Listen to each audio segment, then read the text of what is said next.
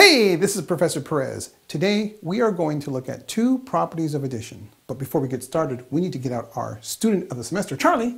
He better be ready to go.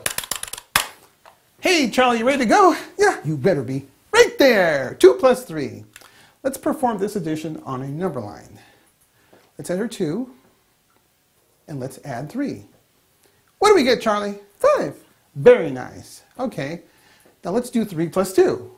Let's first enter a 3, add the 2, and we get 5. Very nice. Now notice, Charlie, 2 plus 3 is the same as 3 plus 2. Well, this is true because of the commutative property for addition. And this states that a plus b is the same as b plus a. This means if you have two numbers being added, you can add them in any order. Now notice 3 plus 2 is 5, and that means that 2 plus 3 has to be 5.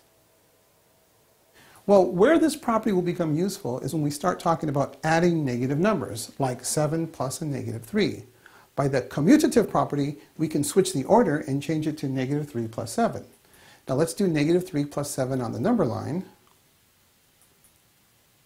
And notice we get 4. So this is telling us that 7 plus a negative 3 is the exact same as 7 subtract 3, and they both equal 4. Okay, Charlie, let's try this problem. 2 plus 3 plus 4. Let's enter 2, add 3 more, which gives us 5, and add 4 more, and that gives us 9, right? Look at this problem. We have parentheses around the 2 plus 3. That means we're going to add the 2 plus 3 first, and then add the 4. So let's add the 2 and the 3, which gives us 5. So let's write down 5, bring down our work, and let's add 4 more. And of course, we get 9. There you go. Okay, Charlie, look at this one. 2 plus, in parentheses, 3 plus 4. Now we must perform the operation within the parentheses first. So let's add the 3 and the 4. And that gives us 7. So let's bring down our work. And to this, we have to add 2. So let's go ahead and add the 2. And notice we get 9 again.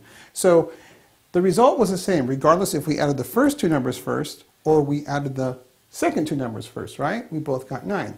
And this works because of the associative property for addition, which basically says if you have three numbers being added, if you add the first two numbers first and then add the third, you will get the same result as adding the last two numbers and then going back and adding the first number. So basically, with the associative property and commutative properties working together, it's telling us that if you have numbers and they're all being added together, you can basically add in any order you want. Notice, 2 plus 3 plus 4 will be the same as 4 plus 2 plus 3, which will give us 9, any way you look at it.